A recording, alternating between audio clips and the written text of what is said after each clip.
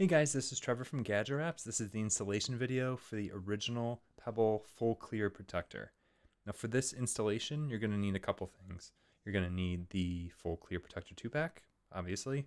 You'll need the bag that came with your order with the card inside. Leave the card inside of the bag. You'll need a microfiber cloth, a towel, or the inside of a t-shirt. And you will need either a spray bottle full of water or a bowl of water. It helps if you have one drop of dish soap um, in the water. It helps to have the screen protector slide around the surface of your watch. This is a wet install. Do not try to install this dry. You'll have terrible results. So the first step is you're going to take a microfiber cloth and clean off the surface of your watch. It's really important that the watch is completely clean of all gunk and fingerprints and anything that might prevent the screen protector from sticking to it perfectly. Now this is not a permanent screen protector. This is something that you can remove at any time without damaging the surface of your watch. So don't worry about that. Next step, take your spray bottle or bowl of water and wet the surface of your watch, the outside of the screen protector, as well as the inside of your hands. Now the screen protector is like a contact lens. It only goes one way. So pay attention that this is the top side and the part that is peeled off is going to go face down on your pebble. So once that's peeled off, put it in your hand and spray the inside of it. And then very carefully place it on the surface of your watch.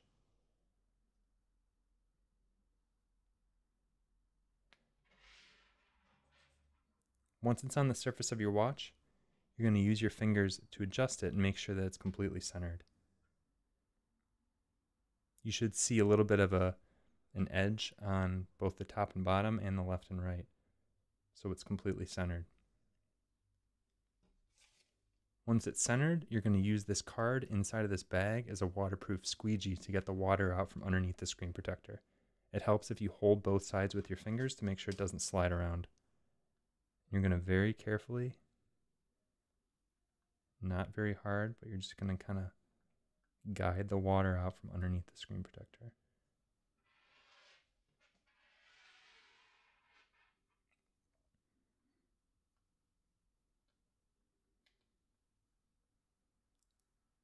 Now, if when you put this down, it's uh, it's slid off or it's not centered, you can just lift it back up, spray it, and try again. So this right now is installed. It's not finished, but it's as good as it's going to get for the next five or 10 minutes. Um, there's going to be residual water that's underneath in the form of bubble, bubbles that you can very gently push out. And that's why it helps if the water has a little bit of soap in it. So it really is easy to slide out from underneath the screen protector.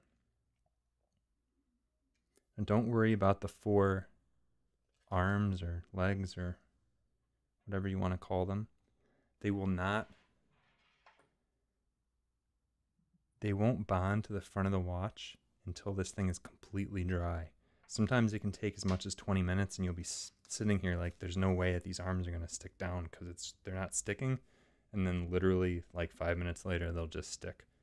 So as long as you're not sliding this thing around. Just try to get as much water out of it as possible and let it air dry.